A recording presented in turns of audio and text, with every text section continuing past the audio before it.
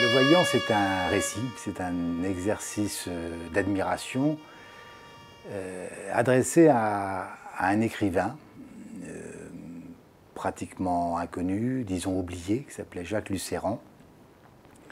et dont la particularité, la singularité héroïque, c'est qu'il a été très jeune aveugle.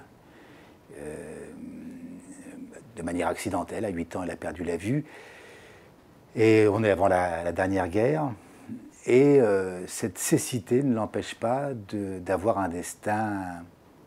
tellement hors du commun que le romancier en moi a abdiqué pour euh, céder la place simplement à, au portraitiste, c'est-à-dire euh, voilà, raconter l'histoire de ce garçon aveugle qui a 17 ans, pour aller vite, entre dans la résistance, crée au lycée Louis-Grand un, réseau de, lycéens, les combattants de la liberté, qui va intégrer un réseau beaucoup plus célèbre quelques temps plus tard, qui s'appelle Défense de la France. Et puis il est arrêté, il est arrêté en 1943, euh, incarcéré à Fresnes, déporté à Buchenwald. Et euh, de cet enfer, euh, il va miraculeusement réchapper. C'est l'histoire de cet homme qui a laissé quelques livres exceptionnels, dont Et la lumière fut, euh, mais également Le Monde commence aujourd'hui, euh, qui montre aussi euh, la manière dont il avait fait de la cécité, non pas un handicap, mais presque un privilège, qui lui permettait, disait-il, de voir à l'intérieur de lui et de voir mieux que ne voient les, les, bienvoyants. Et, et, donc ce sont des textes incroyables, notamment Et la lumière fut, où il raconte ce que c'est que la traversée d'un camp de la mort, comme Buchenwald, quand on ne voit rien, mais qu'on comprend tout et qu'on sent tout. Et vous disait que seule la, seule l'odeur des crématoires euh, empêchait de, de l'odeur putride du baraquement des invalides d'être, plus, plus, plus forte. Donc c'est, ce destin incroyable qui m'a bouleversé, qui a bouleversé d'ailleurs beaucoup de, de, gens qui ne se sont pas forcément reconnus parce que c'est un un destin, encore une fois, euh, qui n'a pas, à mon avis, qui n'a pas été raconté comme il aurait dû l'être. Euh, il devrait y avoir euh, des places Jacques Lucéran, des rues Jacques Lucéran, des, des lycées Jacques Lucéran. c'est un peu pour réparer aussi cette injustice que j'ai voulu faire ce, ce portrait et l'appeler tout simplement le voyant. Et d'une certaine manière, je suis assez heureux de, d'ajouter le voyant, Jacques Lucéran, à la liste des, des, personnages que, que j'aime soit réinventer, c'est-à-dire romancer, soit au contraire tout simplement euh, traiter de manière euh, euh, littérale,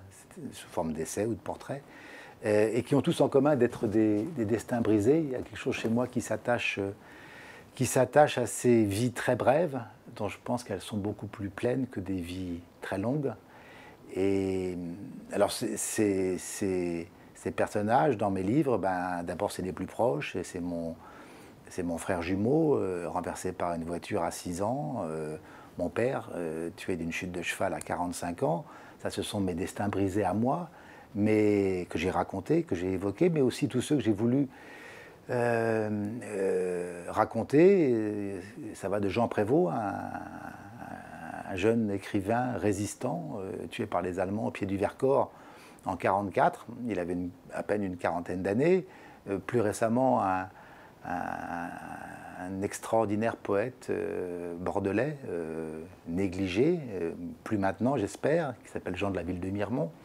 que j'ai raconté, romancé à ma manière dans Bleu Horizon. Mais entre-temps, il y avait également Héros de Seychelles, personnage très méconnu de la Révolution française, guillotiné à à 30 ans et des poussières. Euh, et puis je pourrais encore, euh, voilà, il y a euh, d'autres aussi de ma galaxie personnelle, comme mon beau-père Gérard Philippe, qui a été terrassé à 36 ans dans la fleur de l'âge et de, la gloire. tous, ces, tous, tous ces personnages que j'ai aimés, que j'ai connus, que d'autres j'ai appris à connaître et à aimer à travers leurs livres, à travers leurs œuvres, euh, tous forment pour moi une forme de famille euh, avec laquelle je vis euh, au quotidien et qui, est d'une certaine manière une famille qui me réconforte et dont je, et la, conclusion que, une fois encore, que, la brièveté ne veut pas dire ni la facilité, ni l'éphémère, ni, le. Euh, on utilise souvent le mot de feu, follet pour parler de ces gens-là. Euh, je crois au contraire qu'ils laissent des traces beaucoup plus profondes que s'ils avaient, pour certains en tout cas, vécu jusqu'à 100 ans et, eu le temps de se raconter, de se souvenir. Eh ben non, les miens, je les appelle un peu les miens, ben ils n'ont pas eu ce temps-là, mais je me sens moi un peu le devoir de, de, par gratitude, par reconnaissance, par amour encore une fois, par admiration aussi, dans le cas de Lucéran, je me sens un peu une dette à leur égard et l'envie de, voilà, dans, dans ces quelques livres euh, qui sont tantôt des, des, des tombeaux, euh, tantôt simplement des, des, des, éloges, de laisser, de prolonger un peu euh, leurs traces sur Terre.